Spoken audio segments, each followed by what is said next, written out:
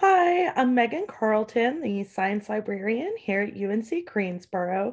And today I'm going to walk you through iNaturalist, which is a app that's used a lot for citizen science projects.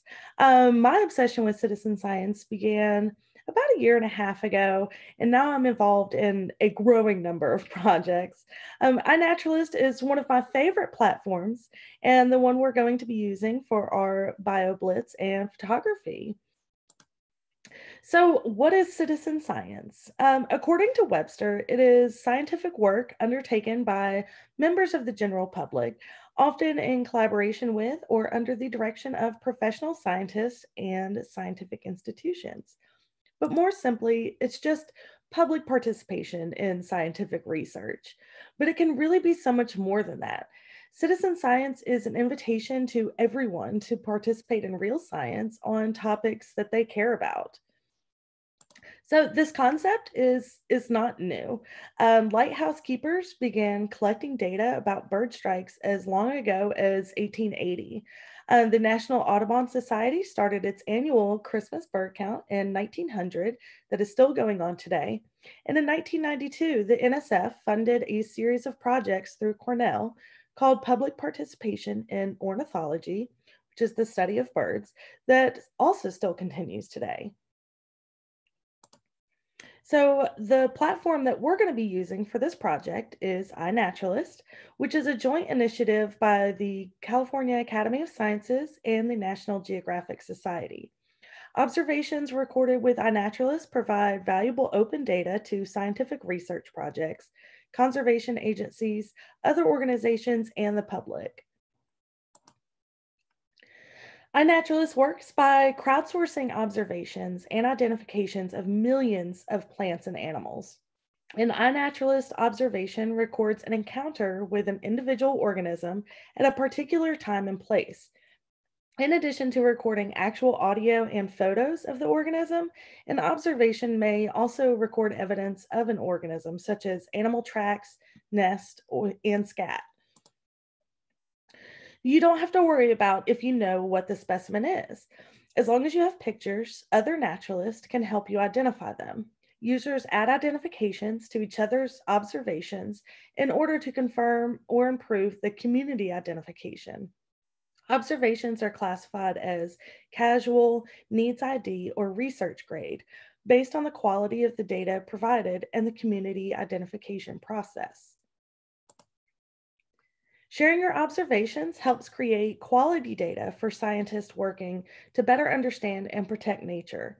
Research applications include studies of nest ecology, detection of rare species, estimation of population size and species richness, as well as research on habitat use and occupation of human-built structures. And this helps expand the scope of conservation monitoring. The data collected can be used by agencies to target management of species of concern, such as threatened or endangered wildlife or invasive exotic species.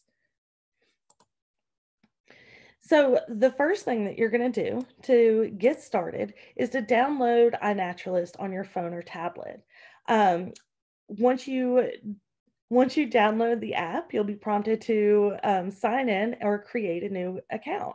Um, you can also do this uh, on their website if you plan on using a regular camera instead of your phone. Um, you can do it this way, and that way you can download the pictures to your computer and then upload them to iNaturalist, which I will walk you through um, both ways of taking pictures.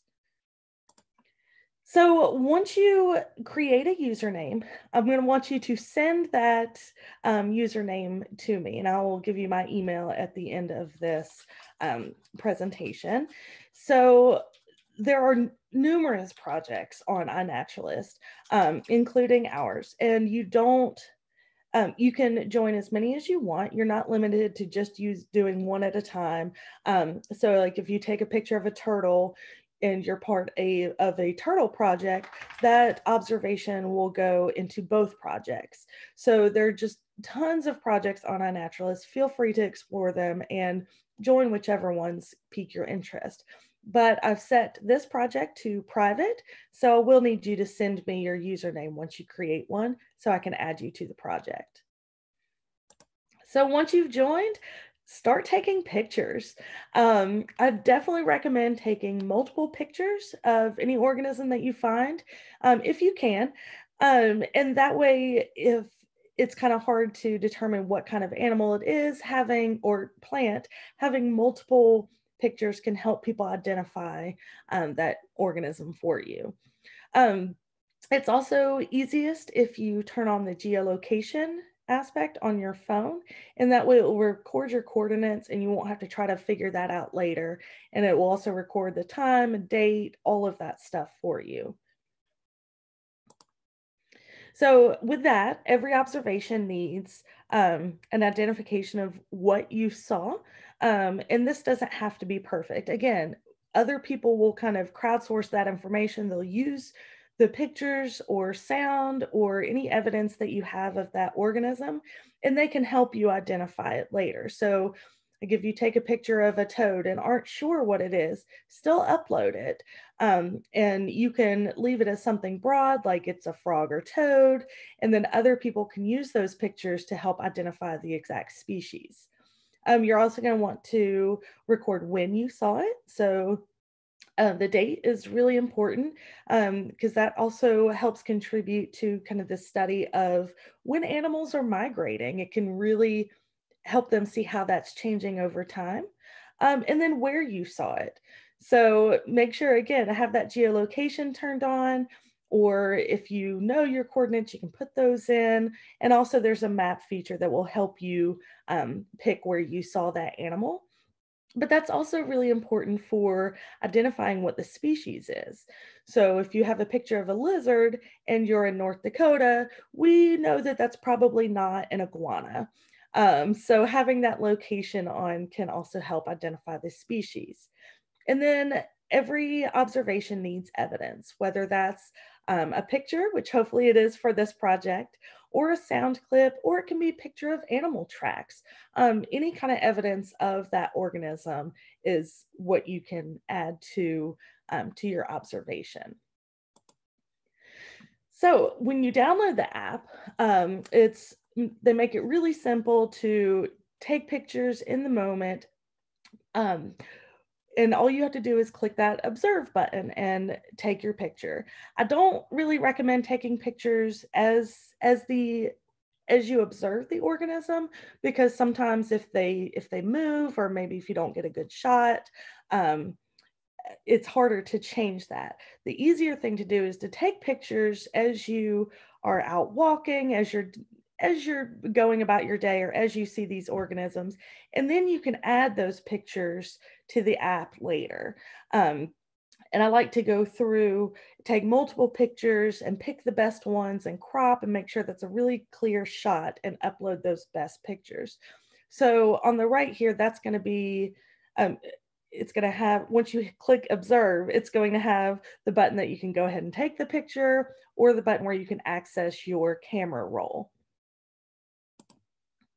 So once you pick that picture that you want to add, um, so this one is a little skink that was in uh, on in my backyard. Um, it's going to ask you what you saw. And when you click that button, it's going to give you these options over on the right. It's going to say, you know, really broad, we think this is a toothy skink, which it is. And then it's going to get more specific and say, hey, um, wow, sorry, my mouse is very sensitive. Um, on the right, it's going to give you some species suggestions, and these are going to be based on your location. So if you have that turned on, it's going to say, hey, these are ones that live nearby. And it is true, where this picture was taken, these um, top three right here, the common or the southeastern five-line skink and the broadhead, um, those three all live in North Carolina. They've all been seen in my area. And that animal does look exactly like all three of those. Um, so if you're unsure about which exact species it is, you can pick that toothy skinks, pick that, that top, um, that kind of broader classification. And then other people will look and say what they suggest that it is. Um, and then again, on the left, it's going to go ahead and add that time and date, and it's going to add your location um, the coordinates, and then it's going to ask you how you want the geo privacy for this. So when the privacy is open, and actually I have a shot of this. Okay, so the picture on the left was where we lived right when we moved to North Carolina and right when I really became obsessed with iNaturalist. Um, every observation, I left the geolocation just open. You know, it didn't really matter. Um, and all of those observations were really pinpointed right around my house. Um, this doesn't share location to with the public. Um, but researchers, even if you obscure your location, if you're part of a specific project, they will be able to see kind of where that location is um, in case they, you know, there's invasive species or things like that, and they need to know the location. Um, but in general, this is not going to be open to the public how specific it is. What is going to be kind of open to the public is when you obscure that location, it's going to look like the picture on the right. These are still all pictures I took around the house, but it just gives you a general idea of where those animals are. Um, it will also do this automatically if it's any animal that's threatened or endangered, um, like hellbenders, those huge salamanders, those are ones that are endangered. And so anytime you add an observation of those, it will automatically obscure it for the animal's safety. So now I'll show you the iNaturalist website. If you are taking pictures with your um, camera and you want to upload those, I'll show you how to do that. So first you're going to want to download the pictures onto your computer. And then when you log into your iNaturalist account, right here, you're going to click on Add Observations. And it's going to ask you to choose those files. And again, it's really helpful to take multiple pictures of the organism. So right here, I'll add the first one of this tree I took in my backyard. And I'm actually going to want to add another picture. So I'll hit add photos and I'll go ahead and add a second picture that was a close up of the needles on this tree so with this one, you're going to want to combine those pictures because they're they're not separate observations. They're still the same um, organism. And then you just click combine and it'll add it to where there's multiple pictures of that tree. So again, you it's since I took this with my phone, it went ahead and added the time and date for me, and it went ahead and added my location. And it tells you right here that the location is public and you can change that down to obscured just so they know it's in the general area. So for our species name, when you click in it, it's going to automatically say, hey, we're pretty sure it's a juniper, and here's some suggestions of ones that have been seen nearby. Um, but since I, I wasn't sure exactly which type it was, I'm just going to pick junipers. And this is where, as you take more and more pictures and do more observations, you'll get a better picture of like what you need to take pictures of. So, like, I know the Eastern red cedars, they have a little stripe on the bottom of their needles. And I didn't get a picture of that. So, maybe next time I take pictures, you know, I'll get my really good shot that I want, but then take some more detailed pictures to help identify it. So for this, I'm just going to say, you know, it's a juniper. I'll let somebody else pick what it was. And then you can submit that observation.